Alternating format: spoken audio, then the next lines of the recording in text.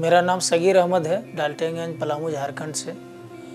हमें asthma allergy का करीब करीब तीस सालों से पुराना रिश्ता रहा है।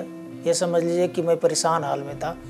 मैं एलोपैथ, आयुर्वेद, होम्योपैथ या यूनानी सभी तरह का इलाज कराया, लेकिन राहत मिलता था।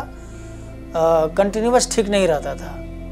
इसलिए कंटिन्यूस मैं एलोपैथ की दवा मोनोलिकास लिबोसिटीजिन का दवा मैं कंटिन्यूस ले रहा था। और उससे परेशानी कई भी बढ़ रहे थे। लेकिन कियंग मुझे एक मित्र ने बताया कियंग के बारे में जो बीटा सेंटिका कियंग है। मैं लेना करीब करीब तीन महीना प्लस हो गए लेते हुए। खाने के बाद मुझे 25 दिन होते होते मुझे ऑटोमेटिक धीरे धीरे एलोपैथ की दवा छूटने लगी यानी मुझे दिक्कत नहीं हो रहे थे। तो मैं दिक्कत हो, हो नहीं रहा था मैं नहीं खा रहा था। लेकिन अभी तीन महीना प्लस हो गए खाते हुए और करीब 25 दिन के बाद से मैं अभी तक एलोपैथ की कोई भी दवा नहीं लिया हूँ और अभी तक मुझे प्रॉब्लम भी नहीं हुई है।